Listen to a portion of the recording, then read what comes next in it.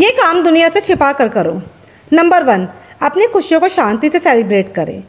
Number two जो भी खरीदना है बिना शोर मचाए खरीद लो नंबर थ्री किसी को प्यार बिना किसी को बताए करें। नंबर चार, पसंदीदा लोगों के साथ ही जियो, बाकी तो टाइम बर्बाद करेंगे। नंबर पाँच, अपने नुकसान को भी प्राइवेट रखें, चुपचाप सहन कर लें। नंबर छः अपने घर परिवार की बातें किसी से भी शेयर ना करें। अगर आप इसे शेयर करते हैं तो आपको बाद में पछताना पड़ सकता है। नंबर सात, लोग जानना चाहते हैं कि आप कितना कमाते हैं। आप अपने धन को जितना हो सके गोपनीय रखें यह आपके लिए अच्छा होगा। नंबर आठ, यदि आपका सार्वजनिक रूप से अपमान किया जा रहा है तो आप उसका जमकर विरोध करें।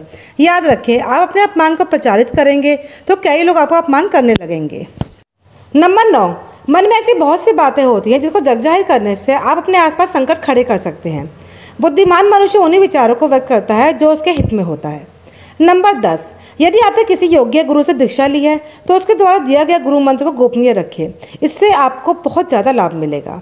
नंबर ग्यारह, यदि आप किसी प्रकार की दवा खाते हैं तो उसे गोपनीय रखें। माना जाता है कि दवा का असर तब तक होता है जब तक कि वह गोपनीय रहती है। नंबर बारह, यदि आपसे कोई बिना वजह आपकी आयु पूछता है तो आप उसे बिल्कुल ना बताएँ। नंबर तेरह आप जो भी दान करते हैं, वह किसी को बिना बताए करें। इसे गुप्त रखें, तभी आपको इसका पूरा लाभ मिलेगा। ऐसा कहा जाता है कि गोपनीय दान ही देवताओं की नज़र में रहता है।